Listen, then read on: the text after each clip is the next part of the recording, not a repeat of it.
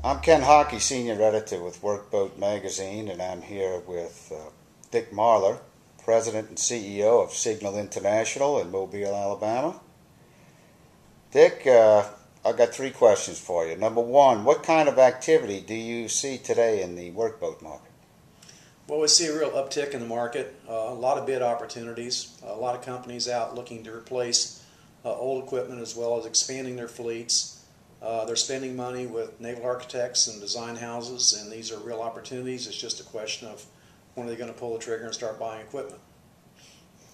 Uh, it's the one year anniversary of Signal Ship Repair here in Mobile. How are things going? It's going really great. Uh, we've had a, an opportunity to refurbish our dock and clean up the yard, uh, solicit old customers, get them to come back. We've had a really good response, and uh, we're very, um, very optimistic about uh, the long-term outlook of signal ship repair. Uh, finally, what's been the impact of the deep, deep water drilling moratorium and the evolving bidding process?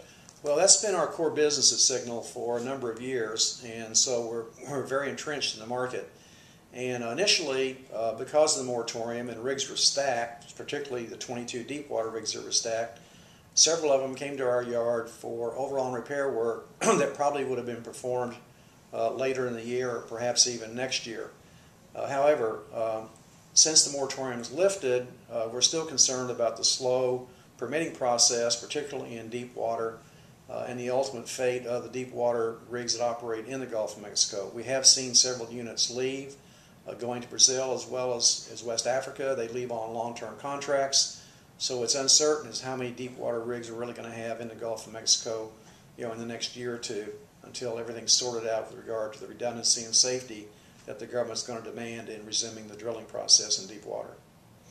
Dick, thanks for your time. We appreciate it.